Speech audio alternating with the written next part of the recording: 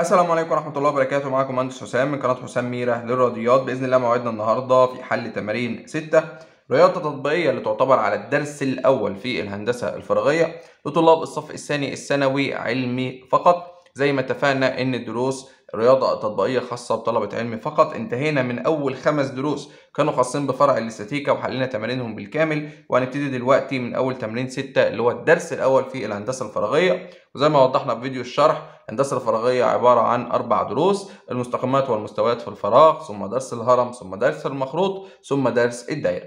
درس المستقيمات والمستويات من الفراغ من أهم الدروس لأن هي مدخل فرع الهندسة الفراغية بتاعك. لو فهمته كويس جدا جدا هتفهم فكرة الفراغ.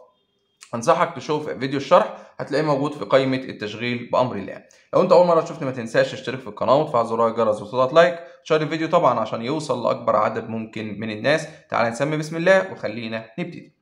كالعادة لو محتاج ملازم الشرح الخاصة بيا كل اللي عليك هتبعت رسالة واتس على الرقم اللي موجود في وصف الفيديو. ابعت له رسالة هيقول لك كل تفاصيل الملازم ويبعت لك عينة منها بحيث تبقى مطلع عليها قبل ما تشتريها بأمر الله. درس المستقيمات والمستويات في الفراغ زي ما وضحنا في فيديو الشرح اللي استفدنا في الشرح بتاعه الحمد لله. إن الدرس ده الحل بتاعه هنا معتمد على فهمك مش معتمد على حفظ. فأنصحك تشوف فيديو الشرح عشان تبقى فاهم الدنيا فيها إيه. إيه كنت أنا عامل من السنة اللي فاتت فيديو تلخيص مهم جدا جدا هيشتغل قدامك دلوقتي. هضيف لك الفيديو ده عبارة عن تلخيص الدرس كده في خلال 10 دقايق أو 12 دقيقة بالظبط وبعد كده هنبتدي في حل التمارين لأن يعتبر التمارين أنا مثلا أقول لك عدد المستقيمات التي تمر بنقطة معلومة عدد لا نهائي أنت استفدت إيه؟ لازم تبقى فاهم المعلومة يا باشمهندس خلاص؟ فهنوقف الفيديو دلوقتي تشوف فيديو التلخيص اللي أنا عامله لك دلوقتي وبعد كده هنحل أسئلة الأخطر وبعد كده هحل لك الأسئلة المقالية في نهاية الفيديو فيديو النهاردة مش هنقسم الأخطر المقالي لأ هنحل كله مع بعض بأمر الله وقف الفيديو دلوقتي شوف التلخيص وبعدين نرجع نحل التمارين مع بعض تاني. لو انت فاهم الدرس كويس جدا خش على حل التمارين اعمل سكيب للجزء ده وابدأ بحل التمارين على طول. بالنسبة لنا أنا عندي ثلاث حالات بالنسبة للنقطة. يبقى أنا هقسم دلوقتي الفيديو بتاعي أول حاجة بالنسبة لي نقطة. خلاص؟ ماشي. النقطة الواحدة دي عايز أعرف بيعدي بيها كام مستقيم وبيعدي بيها كام مستوى. تمام؟ تمام. أنا هحط نقطة اهو مفيش ادنى مشكلة تمام. تيجي نشوف بيعدي بيها قم آه خط مستقيم أنا عايز افهم مش عايز أقول لك الإجابة على طول لأن بحس بصراحة كده إن أنا ما فتكش يعني بقول لك الإجابة مثلا عدد لا نهائي ما فتكش فلازم تفهم تمام. دي النقطة بتاعتي صح؟ تمام. تعالى كده بقى عشان إيه نوضح الدنيا شوية. لو أنا رسمت كده إيه خط مستقيم أهو أدي واحد. لو أنا جيت رسمت واحد تاني أدي اتنين. لو جيت رسمت واحد تالت تلاتة صح؟ لو جيت رسمت واحد رابع أربعة فضلت أرسم ده عدد لا نهائي زي الدايرة فكرة الدايرة أنا بالنسبة لي الدايرة دي عدد لا نهائية من النقط تمام يبقى أنا بالنسبة لي بالنسبة للنقطة بيمر بيها كام خط مستقيم أقول له عدد إيه؟ لا نهائي حلو نفس النقطة أهو إحنا مكملين في النقطة بيمر بيها كام مستوى؟ طب معلش يا باشمهندس هو إيه تعريف المستوى؟ بيقول لك إن هي مجموعة من النقط غير منتهية بتمثل سطح ملوش حدود. تمام. طيب السطح اللي ملوش حدود ده أنا هعينه إزاي؟ هعرفه إزاي طالما هو مش له حدود؟ بيقول لك عينه بثلاث نقط ليست على استقامة واحدة. تمام. فإحنا عشان المستوى ده بالنسبة لي كبير جدا فأنا عايز أحدد مستوى صغير. يعني مثلا لو أنا قلت المربع ده بالنسبة لي مستوى طب ليه؟ معايا ثلاث نقط اهم وليكن الثلاث نقط دول ليسوا على استقامة واحدة فيعينوا لي إيه يا باشمهندس؟ يعينوا لي مستوى. لو أنا مثلا بصيت على الآلة الحاسبة دي الحرف بتاعتها أو الحدود بتاعتها اللي هي بره دي تعين لي مستوى الشاشة دي بتعين لي مستوى الزرار الصغير ده مستوى جزء من مستوى كبير اللي هو الآلة فاهمني؟ مثلا مكان الشحن بتاع الطاقة الشمسية ده بالنسبة لي برضه مستوى. فعشان أنا بحدد المستوى بحدده بأي ثلاث نقط ليست على استقامة واحدة. يعني دي ودي ودي تمام. بالنسبة للزرار نفس الفكرة تمام. يبقى إحنا دلوقتي دي النقطة بتاعتي. عايز أعرف بيعدي بيها كام مستوى أو بعين بيها كام مستوى؟ والله يا باشمهندس إحنا قلنا المستوى بيتعين بثلاث نقط ليست على استقامة واحدة. فأنا ممكن والله يا باشمهندس أرسم مستوى كده. محدد بالنقطه أهو تمام. ممكن بنفس الطريقة أرسم مستوى عامل كده. خلاص؟ ممكن أرسم مستوى عامل كده. ممكن أرسم مستوى عامل كده. كذا حاجة بالنسبة لي. فلو فضلت أرسم من هنا لبكرة برضو يبقى عدد لا نهائي من إيه؟ من المستويات. يبقى تلخيص النقطة بيعدي بيها عدد لا نهائي. سواء مستقيم أو سواء إيه؟ مستوى. يعني بيجي لك السؤال إزاي؟ عدد المستويات التي تمر بنقطة عدد لا نهائي. عدد الخطوط المستقيمة اللي بتمر بنقطة عدد لا نهائي. تمام؟ كده خلصنا من النقطة. تعال نخش اللي بعدها اللي هي إيه؟ نقطتين. زي الفل. معايا نقطتين. تمام؟ عايز أشوف النقطتين دول هيعدي بيهم كام مستقيم. والله يا باشمهندس أنا هوصل كده. أهو. ده مستقيم. تعرف ترسم له مستقيم تاني؟ لو جيت ترسم مثلا مثلا مستقيم تاني كده هنا كده هتلاقيه بيعدي بواحدة. طب واحد تاني هنا كده بيعدي بواحدة بس. لا أنا عايز يعدي بالنقطتين فيبقى بالنسبة لي إيه؟ مستقيم واحد. زي الفل. طب لو أنا معايا نقطتين وعايز أعرف بيعدي بيهم كام مستوى يبقى إحنا عرفنا لو نقطتين بيعدي بيهم إيه؟ مستقيم واحد. تمام. بالنسبة لي المستوى إحنا قلنا ثلاث نقط ليست على استقامة واحدة يعني نقول إيه؟ مستوى. تمام.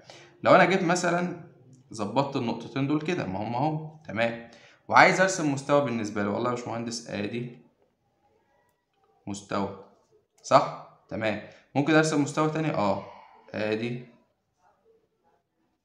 مستوى. تمام. تعرف ترسم مستوى تالت؟ أيوه. ادي مستوى. تعرف ترسم واحد رابع وخامس وسادس وسابع وثامن؟ عارف زي إيه؟ زي الكتاب. لو انت مثلا فاتح الكتاب أو دي مثلا ورقة رسم بيانات. تمام؟ بص. ده بالنسبة لي كده النقطتين وليكن هنا كده. تعال نحدد النقطتين اهم خلاص؟ طيب مش هما بيعدوا بهم مستوى اللي هي الصفحة الأولى دي؟ أهي. وبيعدي بقى مستوى تاني اللي هي الصفحة التانية دي؟ آه. ولو في ورقة تالتة أو رابعة برضو بيعدي يبقى عدد لا نهائي بالنسبة لي بيعدي بالنقطتين دول فبيبقى بالنسبة لي لو في نقطتين بيعدي بالنسبة لهم عدد لا نهائي من إيه؟ من المستويات. خلاص اتفقنا على كده؟ تمام. يبقى عرفنا النقطة وعرفنا إيه النقطتين. تمام. تعالى بقى نشوف الثلاث نقط. تمام. دلوقتي يا باشمهندس لو أنا معايا ثلاث نقط ليهم حالتين. ممكن يكون الثلاث نقط دول على استقامة واحدة وممكن يكونوا ليسوا على استقامة واحدة. تمام. تعال نشوف لو الثلاث نقط دول على استقامة واحدة. أهو. على استقامة واحدة أهو. يبقى بالنسبة لي بيعدي بيهم كام خط مستقيم؟ كام خط مستقيم عدى بيهم؟ والله واحد يا باشمهندس بس. تعرف ترسم لي خط مستقيم تاني يعدي بالتلاتة؟ لا. يبقى أنا بالنسبة لي خط مستقيم إيه واحد. تمام. طب لو أنا رسمت ثلاث نقط على استقامة واحدة أهي. تعرف تقول لي بيعدي بيهم كام مستوى؟ طب ما هي بالظبط شبه النقطتين. ليه؟ طب ما أنا هاجي أرسم مثلا مستوى عامل كده أهو.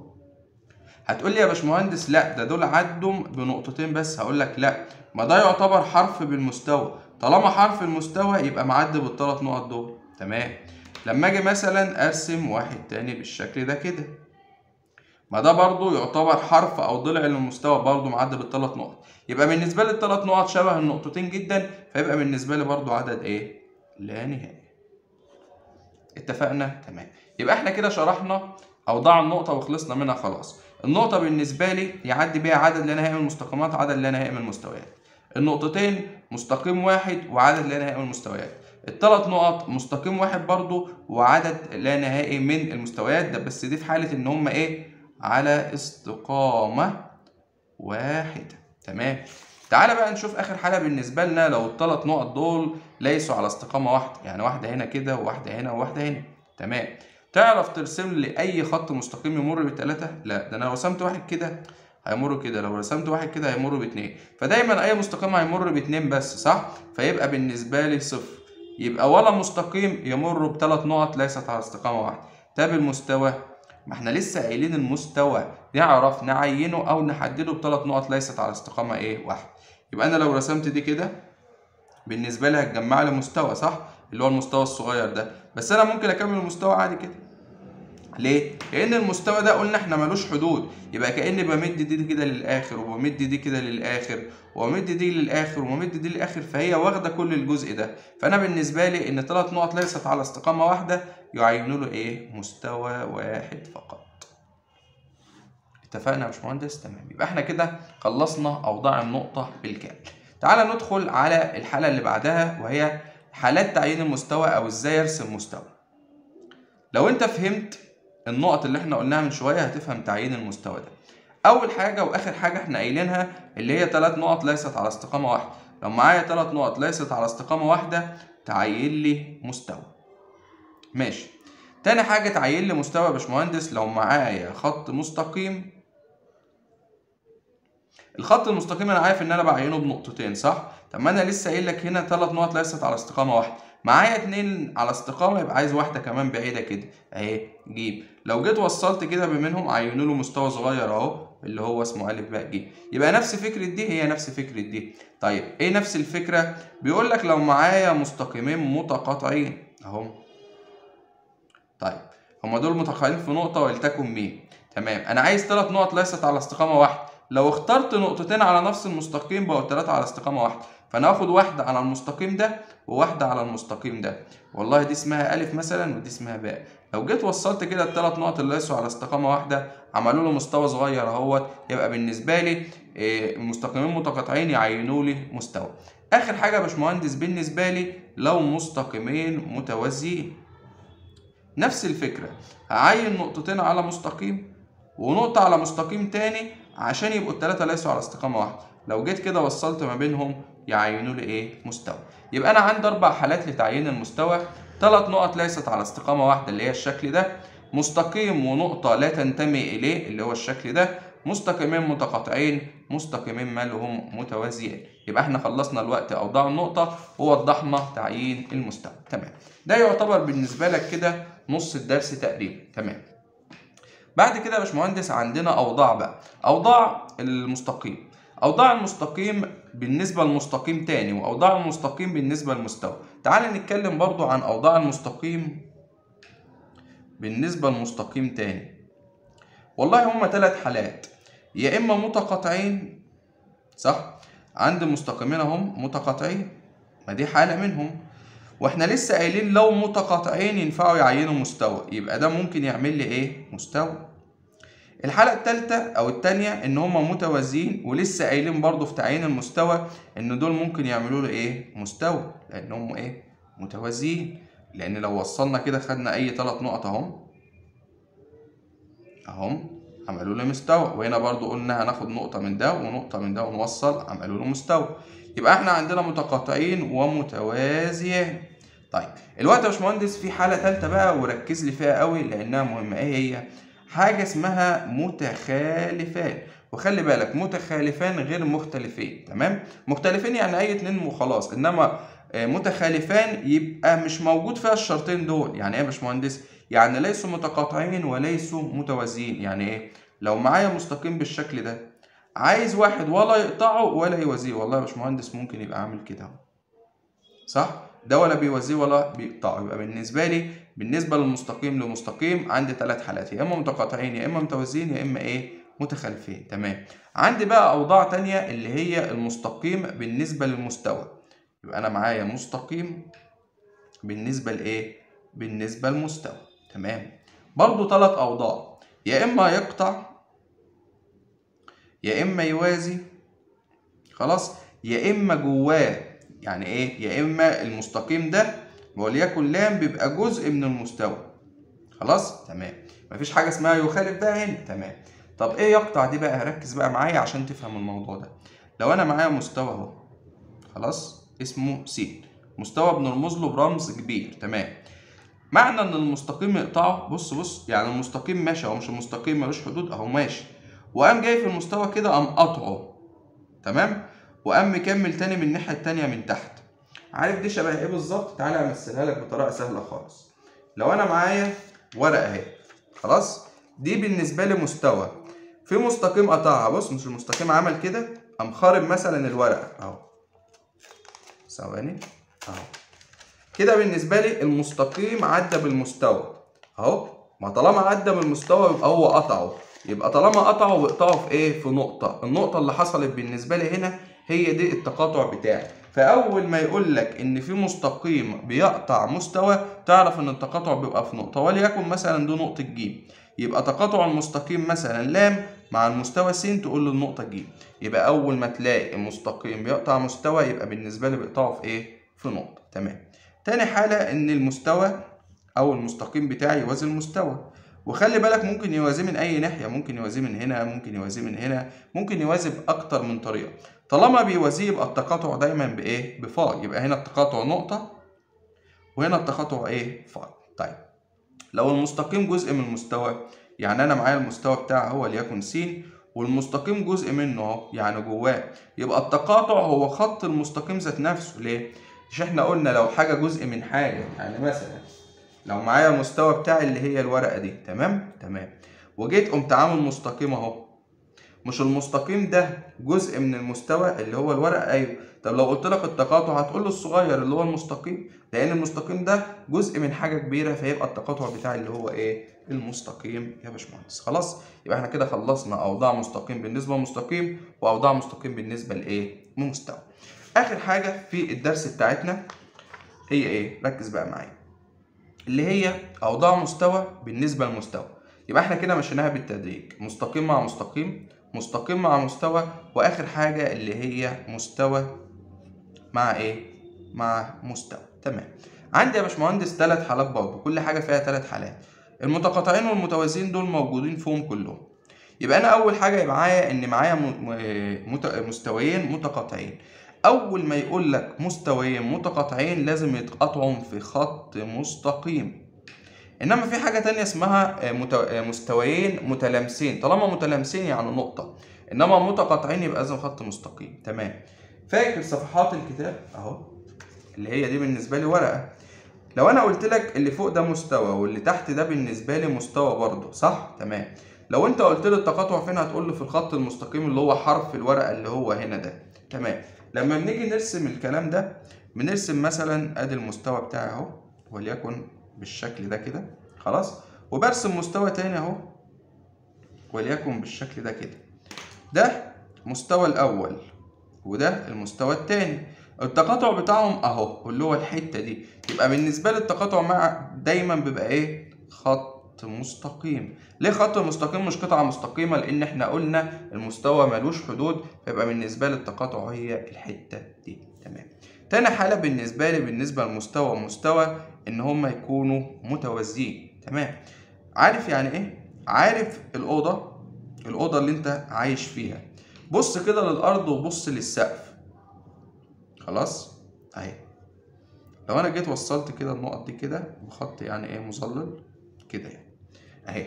بقت بالنسبة لي دي كأنها الأوضة. لو جيت بصيت لل... للأرض والسقف دول كده مست... مستويين متوازيين. يبقى مفيش ما بينهم تقاطع. لو جيت بصيت للحيطة وللحيطة الحيطة اللي في الجنب والحيطة اللي في الجنب دول برضو كده مستقيمين مالهم أو مستويين متوازيين. طب لو بصيت للي في الجنب دول برضو مالهم متوازيين. يبقى أنا بالنسبة لي عشان تتخيل وبساعدك في التخيل لو بصيت للأوضة اللي أنت عايش فيها لو بصيت مع السقف مع الأرض دول مستويين متوازيين. لو بصيت من الحيطة اللي الجنب هنا الجنب هنا برضو مالهم متوازيين. لو بصيت في الحيطة اللي في وشك والحيطة اللي في ظهرك برضو مالهم متوازيين يا باشمهندس. تمام؟ آخر حالة بالنسبة لي وأسهل واحدة اللي هي منطبقين. يعني إيه؟ نفس المستوى ده ومعاه نفس المستوى منطبق عليه. يعني إيه؟ لو معايا مثلا ورقة أهي. خلاص؟ وورقة تانية أهي.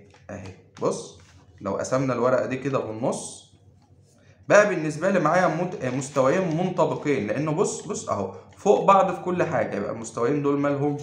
أهو متطابقين أو منطبقين. تمام؟ تمام. طيب تعالى بينا دلوقتي نبتدي بقى في حل التمارين بتاعتنا. زي ما وضحنا يا ريت الناس تبقى شافت فيديو التلخيص اللي هو قبل الفيديو ده على طول أو قبل الفقرة اللي إحنا بنتكلم فيها دلوقتي. هتلاقي جزء التلخيص هيفهمك كل حاجة.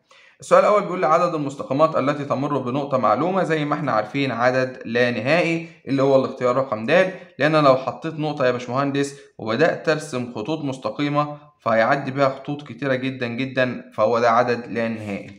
بيقول عدد المستقيمات التي تمر بنقطتين معلومتين هو قلنا اتفقنا يا باشمهندس لو معايا نقطتين فعدد المستقيمات اللي بتمر بيها واحد فقط. لو جيت أرسم أي واحد تاني مش هينفع يمر يمر بالنقطتين دول مع بعض يبقى هو بالنسبة لي مستقيم واحد فقط. عدد المستويات التي تمر بنقطتين معلومتين لو أنا معايا نفس النقطتين دول زي ما وضحت لك برضو أنا ممكن أرسم مستوى بالشكل ده كده وممكن أكبره بالشكل ده كده وممكن أرسم مستوى مايل كده وممكن أرسم مستوى كده أو مستوى عامل كده فيبقى بالنسبة لي عدد لا نهائي من المستويات بتمر بنقطتين معلومتين يعني اختيارنا رقم إيه؟ رقم د. رقم أربعة بيقول لي عدد المستويات التي تمر بثلاث نقط ليست على استقامة واحدة قلنا يا باشمهندس دي حالة تعيين المستوى إن لو معايا أي ثلاث نقاط بس ليسوا على استقامة واحدة فلو وصلتهم كده هيبدأوا يعملوا لي مستوى واحد فقط يبقى هو مستوى واحد اللي هو الاختيار رقم إيه؟ رقم ألف. رقم أربعة بيقول لي عدد المستويات التي تمر بثلاث نقط على استقامة واحدة. قلنا لو هم على استقامة واحدة فدي نفس فكرة نقطتين. لو أنا معايا الثلاث نقط دول وبدأت أرسم مستوى كده هتقول لي يا باشمهندس ما هي ما عدتش بالنقطة دي؟ هقول لك لا يا باشمهندس عدت. ليه؟ لأن الخط ده كده أو المستقيم ده من ضمن المستوى والخط ده معدي بيه النقطة دي. يبقى عدد المستويات التي تمر بثلاث نقط على استقامة واحدة هو عدد لا نهائي. إنما لو كان ليست على استقامة واحدة يبقى مستوى واحد فقط. بيقول لي جميع الحالات الآتية تعين مستوى ما عدا قلنا مستقيم ونقطة لا تنتمي إليه. دي من حالة يا باشمهندس تعيين المستوى لأن أنا أختار أي نقطتين على المستقيم ولو وصلت ده يبقى أنا معايا المستوى. مستقيمين متوازيين وغير متطابقين. برضه يا باشمهندس دي من حالة تعيين مستوى لأن قلت هاخد مثلا نقطتين هنا ونقطة هنا فدول ثلاث نقط ليسوا على استقامة واحدة فنقدر نعين مستوى. أو نقطتين تحت ونقطة فوق. يبقى أنا بالنسبة لي دي صح ودي برضه صح. مستقيمين متقاطعين قلنا برضو لو معايا مستقيمين متقاطعين هبدأ آخد نقطتين على أي واحد فيهم ونقطة على التالت. فده يبقى مستوى بالشكل ده كده. فدي صح. مستقيمين متخالفين اتفقنا يا باشمهندس إن المستقيمين المتخالفين لا يجمعهما مستوى واحد ابدا. يبقى هما إزاي لا يجمعهما مستوى واحد وبيعينوا مستوى يبقى الحالة الوحيدة يا باشمهندس هي المستقيمين المتخلفين لا يعينوا مستوى. رقم سبعة بيقول لي جميع الحالات الآتية تعين مستوى ما عدا لسه قايلين فوق إن المستقيمين المتقاطعين فعلا بيعينوا مستوى لسه شارحينها. مستقيمين متوازيين مختلفين. خلي بالك كلمة مختلفين يعني ما هماش نفس الحاجة أو بتلغي كلمة غير منطبقين. طب ليه يا باشمهندس هو كان قال لي هنا غير منطبقين؟ لأن المستقيمين لو منطبقين فوق بعض كده يبقى ده نقط على استقامة واحدة. ففي الحالة دي هنعين عدد لا نهائي ولكن عايز أعين مستوى واحد. يبقى إذا مستقيمين متوازيين مختلفين عادي جدا لأن كلمة مختلفين قصدهم اللي هما اتنين بعيد عن بعض بالشكل ده ولكن ما يقصدش هنا متخالفين في فرق ما بين اللفظين. بيقول له مستقيم ونقطة تنتمي عليه ده أنا لو معايا مستقيم ونقطة بتنتمي عليه أصبحت دي نقاط على مستوى واحد وساعتها بنعين عدد لا نهائي من المستويات يبقى دي غلط. اسمها مستقيم ونقطة لا تنتمي إليه. ثلاث نقط ليست على استقامة واحدة. قلناها فوق برضو إن دي من حالات تعيين المستوى. يقول لي عدد المستويات التي تمر بمستقيمين متوازيين مختلفين. لو أنا معايا مستقيمين بالشكل ده كده متوازيين ومختلفين ما إحنا عارفين يا باشمهندس إن دي إحدى حالات تعيين مستوى واحد فقط اللي هو الاختيار رقم ألف. ممكن أختار النقطتين على أي واحد وليكن أختار النقطتين المرة دي على اللي تحت يبقى فاضل على اللي فوق فيبقى ده برضه بالنسبة لي المستوى. رقم تسعة بيقول المستقيمان المتخالفان هما المستقيمان اللذين قلنا لا يجمعهما مستوى واحد. طب مش موجودة يبقى ولا متقاطعين ولا متوازيين. ما ينفعش يقول لي لا يتقاطعان بس وما ينفعش يقول لي لا يتوازيان بس. وإحنا عارفين إن التعامد حالة التقاطع فلا يتعامدان دي هي هي لا يتقاطعان برضو فقط. فدي غلط. إنما هو لا يتقاطعان ولا يتوازيان اللي هو الاختيار رقم د قلنا يا إما بنلاقي لا يجمعهما مستوى واحد أو إما بنلاقي لا يتقاطعان ولا يتوازيان. ركز في النقطة دي. رقم 10 أهو بيقول لك يكون المستقيمين متخالفين قلت لك غير متوازيين بس غلط. غير منطبقين ملهاش أي علاقة. غير متقاطعين لوحدها غلط. لا يجمعهما مستوى واحد. أيوه يا باشمهندس لا يجمعهما مستوى واحد. يبقى اختيارنا الصح. رقم إيه؟ رقم د. خلاص كده. درس مهم قوي وأسئلته بسيطة ولكن لازم تركز فيه. السؤال اللي بعده يا باشمهندس رقم 11 بيقول لي إذا كان المستقيم لام بيوازي المستوى س وألف تنتمي إلى س فإن لام تقاطع س. طبعا إحنا عارفين لما مستقيم بيوازي مستوى يبقى التقاطع بتاعهم بفاي يا باشمهندس دي مش محتاجة أي حاجة. لو أنت عايز أي حاجة توضيحية لو ده مستوى مثلا اسمه المستوى س وده مستقيم بيوازيه. اتفقنا إن كأن ده في الأرض والمستقيم ده في سقف الأوضة فوق فأكيد إن هما طالما ما بينهم توازي يا باشمهندس يبقى التقاطع بيساوي فاي. رقم 12 بيقول لي إذا كان المستقيم لام جزء من المستوى س معايا مستوى اسمه س والمستقيم لام ده جواه.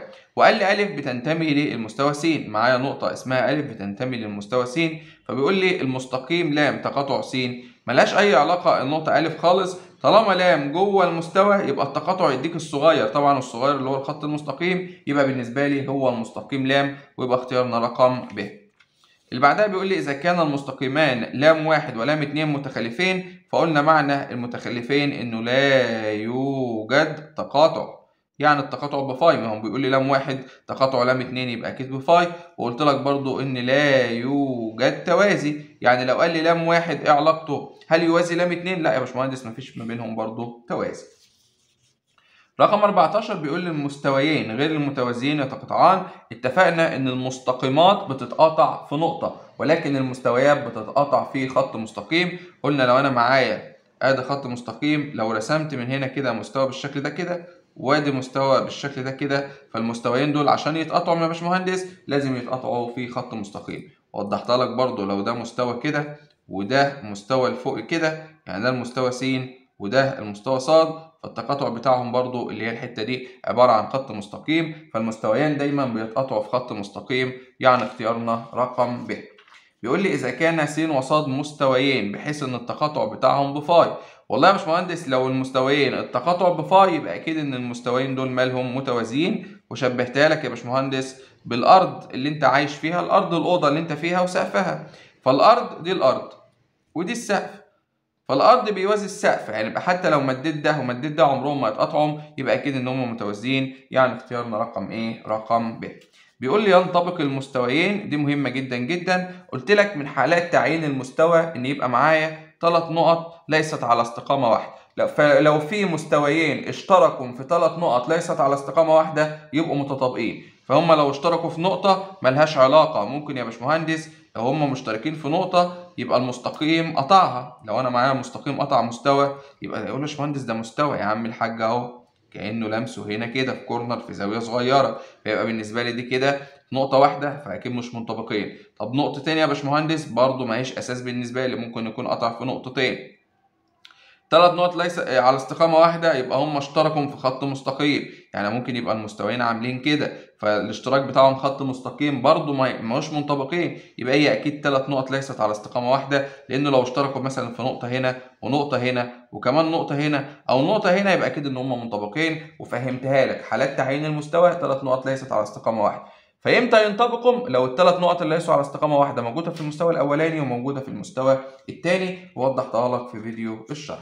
يقول لك إذا اشترك المستقيم والمستوى في نقطتين قلت لك يا باشمهندس أي مستقيم بيشترك في مستوى في نقطتين يبقى أكيد إن المستقيم ده جوه المستوى. تاني أكيد المستقيم ده جوه المستوى. يعني يا إما إن المستوى بيحويه بالشكل ده كده يا إما يا باشمهندس الخط المستقيم هو أحد حواف المستوى. يعني ممكن مستقيم يبقى كده ما أكيد دي مشتركة في عدد لا نهائي من النقط ولو جواه ما لو في نقطتين على المستقيم يبقى أكيد إن هم جوه المستوى يبقى إذا اشترك المستقيم ومستوى في نقطتين فبقى أكيد إن المستقيم يقع بأكمله داخل المستوى اللي هو الاختيار رقم إيه؟ رقم ج. بيقول لي إذا كانت ألف وب وج ثلاث نقط تعيين إيه؟ تعين مستوى اتفقنا؟ لو الثلاث نقط دول يا باشمهندس تعين مستوى لازم يا باشمهندس إن الثلاث نقط دول ليست على استقامة واحدة. وعشان أضمن إن الثلاث نقط دول ليسوا على استقامة واحدة فلازم بتحقق متباينة المثلث. متباينة المثلث اللي بتقول لك مجموع أي ضلعين أكبر من الضلع الثالث فهنا الوحيدة اللي بتحقق متباينة المثلث هي الاختيار رقم إيه رقم ج طب دي يا باشمهندس ما تنفعش ليه؟ لأنه بيقول لك ا ب. خلي بالك كده. بيساوي ب ج أ ب. بيساوي ب ج بيساوي أ ج طب إزاي يا باشمهندس؟ يبقوا التلاتة دول يعني إيه؟ متساويين. هيبقى عامل كده مثلا ويبقى عامل كده. يعني مثلا دي أ ب ودي ب ج فده دلوقتي يا باشمهندس يعني مثلا الشكل ده كده. لا لا لا مش هينفع أصلا. ده لأن ده كده بيدل إن هم على استقامة واحدة. طب ا ب زائد ب ج يديك ا ج ا ب. زائد ب ج يدينا ا ج كله ما برضه دي معناها إن هم على استقامة واحدة وأ ب زائد ب ج دي مش متباينة المثلث يبقى الوحيدة فعلا متباينة هي الاختيار رقم ج رقم 19 بيقول لي المستقيمات الرأسية في الفراغ قلت لك أي مستقيمات رأسية في الفراغ وشبهتها لك بأضلاع المكعب يا باشمهندس في حصة الشرح لو معايا مكعب كل المستقيمات الرأسية اللي طالعة لفوق دي لازم تكون متوازية. وقلت لك لو قال لك المستقيمات الأفقية مش شرط إن هي تكون آه، متوازية لأن في الفراغ ده مستقيم أفقي ولكن في الأرض وده مستقيم أفقي ولكن فوق فالمستقيمين دول يا باشمهندس متخالفين يعني هم مش متوازيين. يبقى المستقيمات الأفقية مش شرط تبقى متوازية ولكن المستقيمات الرأسية لازم يا باشمهندس تبقى متوازية. حلو قوي بيقول لي الأوضاع النسبية لزوج من المستقيمات في المستوى الواحد. خلي بالك حدد لك ان هم في مستوى واحد. فطالما في مستوى واحد ممكن يكونوا متوازيين. أو متقاطعين أو منطبقين. ما ينفعش يبقوا متخالفين ليه يا باشمهندس ما ينفعش يبقوا متخالفين لأن قلت لك متخالفين دي معناها إن هي لا يجمعهما مستوى واحد. فأكيد يا باشمهندس طالما لا يجمعهما مستوى واحد يبقى هما متخالفين هو بيقول لك الأوضاع النسبية لزوج مستقيمات في مستوى واحد. طب إزاي هما مش لا يجمعهما مستوى واحد وهنا بيقول لك مستوى واحد يبقى فعلا دي بتخالف الكلام بتاعنا طيب. رقم 21 بيقول لي س وعين آه، مستويات في الفراغ. بحيث إن الثلاث مستويات دول متقاطعين في نقطة س تقاطع صاد بيديك مستقيم اسمه لام أي الجمل الآتية غير صحيحة. قلت لك أول ما يقول لك ثلاث مستويات متقاطعة في نقطة فدي شبه الحيطان بتاعة الحيطة بالظبط يا باشمهندس. ركز كده معايا. لو أنا معايا دي الأرض بتاعتي وده كده المستوى اللي فوق أو الحيطة اللي في الجنب بالشكل ده كده وعايزين نعمل كمان حيطة فتعالى مثلا نعملها بالشكل ده كده يعني. خلاص؟ يعني رسمة تقليبية يا باشمهندس. دول كده كأنهم إيه؟ تلات حيطان. ده كده هيبقى بالنسبة لي وليكن المستوى س وده كده هيبقى بالنسبة لي وليكن المستوى ص واللي في الأرض ده هو المستوى ع متخيل دي كده حيطة جانبية ودي الحيطة اللي ورا. خلاص؟ دي الحيطة اللي ورا بالشكل ده كده. طيب. الوقت يا باشمهندس دول الثلاث مستويات. هو قال لك إن هم متقاطعين كلهم في نقطة ألف يبقى أكيد نقطة التقاطع بتاعتهم هي النقطة دي اللي هي ألف وقال لك إن المستوى س قطع المستوى ص في مستقيم اسمه لام. طيب يا باشمهندس ده مستوى س وده ص اتقطعوا في لام. فأكيد ده هو المستقيم. لام بيقول لي أي الجمل الاتيه غير صحيحة. ألف بينتمي للام ما أنت ملاحظ أهو ده ألف مرسوم على على لام. ده ده ده. نقطة منه أو جزء منه صح يا باشمهندس؟ يبقى فعلا بالنسبة لي إن ألف بينتمي للام دي عبارة صحيحة يا باشمهندس. بيقول لي لام تقاطع المستوى عين بيديني النقطة ألف؟ خلي بالك. أدي المستقيم لام. لو قطعته مع المستوى اللي نايم ما هو ما قطعش إلا في النقطة ألف. وكده كده كل المستويات متقاطعة في النقطة ألف يبقى برضه دي عبارة صح. بيقول لي إن المستقيم لام بيوازي المستوى عين؟ لا يا باشمهندس ده المستقيم لام ده قاطع المستوى عين. ما ينفعش يبقى يوازيه يبقى دي عبارة غلط وأنت واضح أهو إن لام ما بيوازيش عين ده عمودي عليه. خلي بالك إن لام ده يعتبر عمودي عليه لأن ده عامل زي العمود اللي في الأوضة. بيقول لي إن ألف بتنتمي لعين. أيوه ما ألف دي نقطة بتنتمي لعين وسين وصاد. فدي برضو عبارة صح. يبقى الوحيدة اللي غلط هي الاختيار رقم إيه؟ رقم ج يا باشمهندس. خلاص كده؟ هل فيها أي مشاكل؟ الموضوع سهل جدا بأمر الله. تعال نشوف السؤال اللي بعده. رقم 22 بيقول لي إذا كانت م نقطة لا تنتمي للمستوى الذي يضم النقاط دي. يعني أنا معايا مستوى. وفي نقطة معينة اسمها م لا تنتمي إليه. بس قال لك برضو إن المستوى ده فيه ثلاث نقط تانيين اللي هم ا وب وج. فبيقول لي فإن الخط المستقيم م ا خط المستقيم طالما من بره فهيجي عند ا كده ويقوم إيه قاطع المستوى. هيخرمه يعني بالظبط كده كأني عملت ورقة كده وقمت خارمها بالظبط. يبقى بالنسبة لي إن أكيد إن ا م ده يقطع المستوى وبيقطعه في نقطة اللي هي ا يبقى بالنسبة لي إن هو يقطع المستوى في نقطة يعني اختيارنا رقم إيه رقم ب. رقم 23 بيقول لي إذا كان ا ب عبارة عن جزء من المستوى س فده معناه إن المستقيم ده كده يا باشمهندس جوه المستوى ذات نفسه. وجيم د بيوازي المستوى. جميل جدا أدي جيم د بيوازي المستوى. فإن جيم د وألف ب هي في الرسم هنا يبان لك إن هما متوازيين بس خلي بالك إن هو ممكن يوازيه كده. يعني ممكن إن جيم د هو ده كده برضه بيوازي المستوى خلي بالك. فهنا ج د والف ب والله هم ممكن يكونوا متوازيين. هو بيقول لك متوازيين فقط فدي غلط. ليه يا باشمهندس غلط؟ لأن زي ما قلت لك ممكن يكون بيوازي المستوى كده فده كده مع ده اسمه متخالف فمتخالفان فقط برضه يا باشمهندس غلط. طب بيقول لك متوازيان أو متخالفان آه يا باشمهندس هما يا إما يبقوا متوازيين بالشكل ده كده اللي هي الحالة دي أو يبقوا بالحالة دي يعني متخالفين طب متقاطعين؟ يا عم الحاج ده هو ده بره وده جوه فعمرهم ما يبقوا متقاطعين. يبقى فعلا الصح هي متوازيان أو متخالفان وأديك برضه فهمت هي جت منين. طيب. رقم 24 بيقول لي س وصاد مستويان متوازيان. طيب معايا مستوى أهو بالشكل ده بيوازي مستوى تاني بالشكل ده. وليكن ده س وده ص لام واحد جزء من س يعني جواه ادي لام واحد. لام اتنين جزء من ص يعني جواه ادي لام اتنين. بيقول لي أي مما يأتي لا يمكن حدوثه. يعني هو في احتمال ممكن يحصل.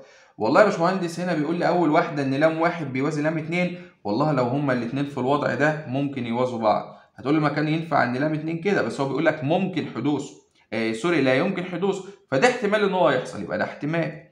الاحتمال الثاني إن لام واحد ولام اتنين متخالفين ده احتمال وارد جدا. زي ما قلت لك يبقى ده جاي كده وده عامل كده. ففي الحالة دي هيبقوا متخالفين لانهم مش متقاطعين ومش متوازيين ولا يجمعهما مستوى واحد لأن كل واحد. فده احتمال ممكن يحصل.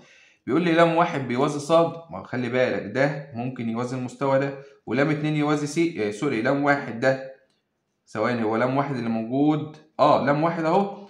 أنا بس مسميت المستويات غلط. ده س وده ص بيقول لك إن لام واحد ممكن يوازي ص آه عادي جدا. لام واحد في الوضع ده بيوازي ص طب لام اتنين بيوازي س آه ممكن جدا إن هي تحصل. متقاطعين؟ يا عم الحاج ده أنت بتقول له مستويين متوازيين يعني كل واحد في حتة خالص فإزاي المستقيمات دي تبقى متقاطعة؟ يبقى فعلا اختيار الدال هو اختيار غلط. طيب. أقل عدد من المستويات التي يمكن أن تحدد سطح مجسم هو أربع مستويات وقلنا هو عبارة عن الهرم الثلاثي. وده إن شاء الله يعني هناخده بالتفصيل. في الدرس اللي جاي. ده كده الهرم الثلاثي بتاعي. عبارة عن أربع مستويات اللي هو الظهر اللي هي الحتة اللي دي والجنبين اللي أنت شايفهم في الوش والأرضية. فدول أربع مستويات يا باشمهندس بيحددوا سطح مجسم. طيب. آه رقم 26 بيقول لي أ ب ج د أ شرطة ب شرطة ج شرطة د شرطة متوازي مستطيلات. قام مستقيم يحمل حرفا من أحرف الشكل يكون مخالف للمستقيم أ ب. طبعا دي أنا قلتها لك في فيديو الشرح إن هم أربعة. بس برضو تعالى نشرحها تاني. لو أنا معايا بالشكل ده كده خلاص؟ تعالى نسمي القاعدة ولا إيه؟ نرسمها مكعب تعالى نرسمها. هو متوازي مستطيلات؟ ماشي يا عم هرسم لك متوازي مستطيلات. ما تزعلش الموضوع سهل.